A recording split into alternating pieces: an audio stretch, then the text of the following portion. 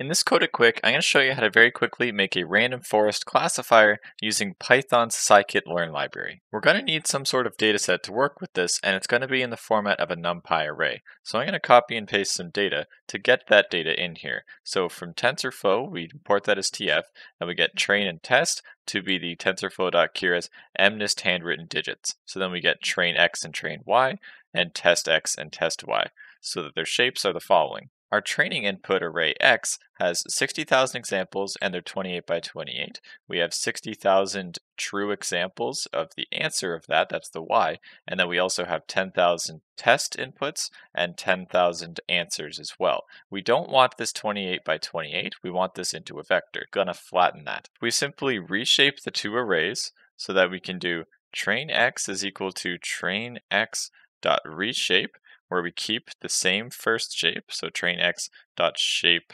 sub 0, and then the second thing we could do negative 1 to flatten it, and then we do the exact same thing for the test x as well.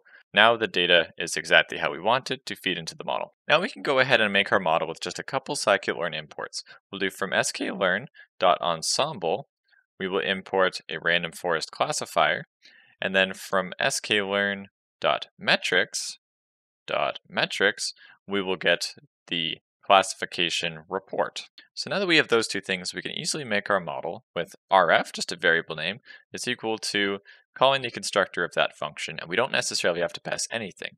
We can do rf.fit to train the model, and so to train it, we will give it the train x information and the train Y information, the input and the true labels.